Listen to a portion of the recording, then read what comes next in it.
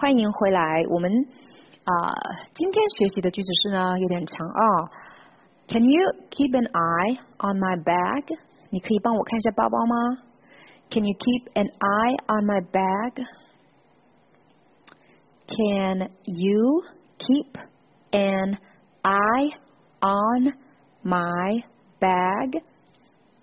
好，我们来读三遍。Can you keep an eye on my bag? Can you keep an eye on my bag? Can you keep an eye on my bag?